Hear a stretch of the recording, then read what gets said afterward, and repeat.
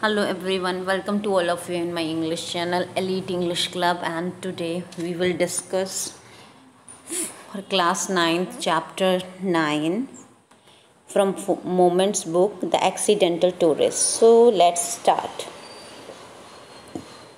जैसा कि हम जानते हैं कि the Accidental Tourist Bill Bryson ने लिखा और जो उनकी लाइफ का इंसिडेंट है कि कैसे वो क्लम्जली बिहेव करते हैं यहाँ पर हम बिल ब्रिसन के बारे में जानेंगे, जिनका जन्म 1951 में डेस्मोनीज योवा में हुआ था। एंड 1977 में ये इंग्लैंड में सेटल हो गए और फिर यॉर्कशायर नॉर्थ में रहे कम से कम 20 साल तक। देन इसके बाद now he in Hanover, New Hampshire. इनकी बहुत सारी ट्रेवल बुक्स हैं, जिनके नाम हैं Lost Continent, Neither Here Nor There Notes from a small island, A Walks in the Woods, I am a stranger here myself, and Bill Brisson in a sunburned country. His books on the English language are Mother Tongue and Made in America. So so, उनकी जो book है English language वो उसका नाम है English language पर दी गई है मदर टंग और मेड इन अमेरिका बहुत ही फेमस बुक्स हैं आई होप आपको राइटर के बारे में पता चल गया होगा। एक ब्रीफ डिस्कशन हम लोगों ने यहाँ पे किया है। अब हम चैप्टर के बारे में जानेंगे। जैसा कि आप सभी को पता ही एक ह्यूमरस स्टोरी है, जिसमें राइटर अपनी लाइफ के इंसिडेंट के बारे में बात बताता है कि कैसे वो क्लम्जली एक्ट करता है हर चीज़ पर। वो लाख कोशिश करता है कि वो सोफेस्टिकेटेडली मैनर्स से बिहेव करे बट कुछ ना कुछ ऐसा हो जाता है कि वो सब मेसी हो जाता है।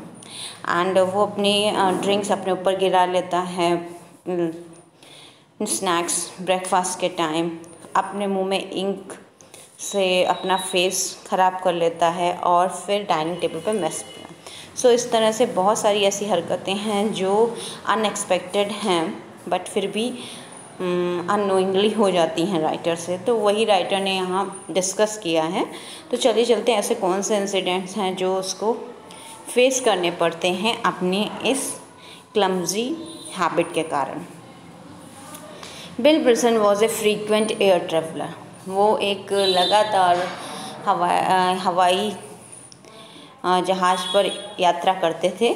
वो हमेशा अपने आप को अनईज़ी फील करते थे जब वो एयर ट्रेवल करते थे। इस लेसन में उन्होंने यही डिस्क्राइब किया है कि अपने उसी एक्सपीरियंस को कि ट्रैवलिंग के टाइम उन्हें क्या क्या फेस करना पड़ता था। तो उसी चीज़ को उन्होंने यहाँ पे डिस्कस किया है। वो एक बताते हैं, एक बार की बात है कि वो जब इंग्लैंड जा रहे थे अपनी फैमिली के साथ, तब उन्होंने एक कैरी ऑन बैग अपने साथ रखा हुआ था और तभी वहाँ से प्रॉब्लम स्टार्ट हो जाती एयरपोर्ट से। जब चेकिंग स्टाफ से बैग खोलने को कहता है, वो बहुत कोशिश करते हैं ज़िप को ओपन करने की, लेकिन वो नहीं खुलता। एंड वो इतनी कस के लगा हाँ खींचते हैं उस ज़िप को कि वो खिंच कर टूट जाता है। और सारी चीज़ें जो बैग की होती हैं, वो सब निकल कर इधर उधर फैल जाती हैं। जैसे कि उसमें बहुत सारा सामान होता है न्यूज़पेपर कटिंग होती है डॉक्यूमेंट्स होते हैं टोबैको का टिन होता है, मैगज़ीन होते हैं, पासपोर्ट होता है एंड क्वाइंस ऑल्सो तो ये सारी चीज़ें वो सब फैल जाती हैं ऑफ़ जैसे कि सारे टेनिस कोर्ट में चीज़ें होती हैं उस तरीके से। फिर वो डिस्क्राइब करता है दूसरा एक्सपीरियंस कि वो कहता है जब वो एरोप्लेन में बैठा होता है, वो आगे की तरफ़ झुकता है तो उसके टू शू लेसेस आपस में बन जाते हैं और उसी मोमेंट उसकी सीट कोई पीछे से खींच लेता है और जिस तरह से वो आगे की ओर और अपने आप को बहुत ही हेल्पलेस कंडीशन में पा जाता है, जिससे कि वो खुद को गिरते गिरते बचाता है। और ये केवल उसकी जो लेग को क्रॉस करके बैठने के कारण होता है, जो उसके आस पास एक आदमी बैठा होता है जिसने उससे फिर उस वो किसी भी तरीके से अपने आप को फ्री करने की कोशिश करता है। थर्ड इंसिडेंट वो डिस्कस करता है कि एक बार ही उसने सॉफ्ट ड्रिंक के लिए ऑफ़र किया एंड उसने फिर उस लेडी के ऊपर सॉफ्ट ड्रिंक गिरा दी। And he repeated this mischief many times और इस तरह की हरकत उसने तीन, कई बार किया।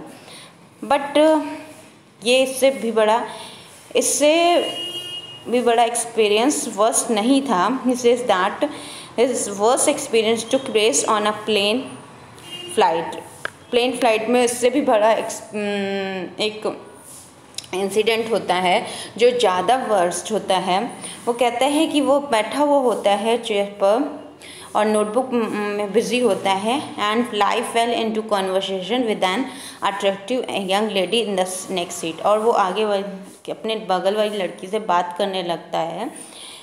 देन उसके बाद वो पेन को उसकी पेन की बैक हिस्से को मुँह में चबा लेता है एंड वो सक करता रहता है और ट्वेंटी मिनट्स बाद उसका पूरा, जब वो लेबोरेटरी की तरफ़ वॉशरूम जाता है, वो देखता है कि उसका पूरा पेन लीक हो चुका है और mouth chin tongue teeth and gum सभी नेवी ब्लू हो गए हैं because of that ink and would remain for so several days और इस तरह उसका मुँह कई दिन तक शाही से भरा रहा। इन सब की फ्रीक्वेंट फ्लायर के बाद he never got any air card उसके बाद उसको कभी भी एयर कार्ड नहीं मिला. He says not he used to fly वो एक आदती था फ्लाई होने का one thousand one lakh miles a year but due to his carelessness और some other reason he could not get no air card और लेकिन कुछ प्रॉब्लम्स के कारण कुछ उसकी केयरलेसनेस के कारण फिर उसे ना एयर कार्ड नहीं मिला।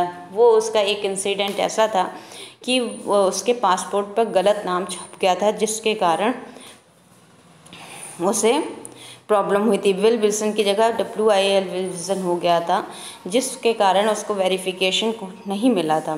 सो so, इस तरह के बहुत सारी क्लमजी हरकतों के कारण बहुत टाइम उसे एम्बेरस होना पड़ता था अपनी लाइफ के इसी इंसिडेंट को भी। वहाँ कई सारे इंसिडेंट जो होते हैं उसके साथ वो यहाँ पर शेयर करता है। So this is a humorous story I hope आपको ये पसंद आई होगी एंड uh, अच्छे से समझ में आई होगी। अगर कोई क्वारी हो तो प्लीज़ फीडबैक ज़रूर दीजिएगा।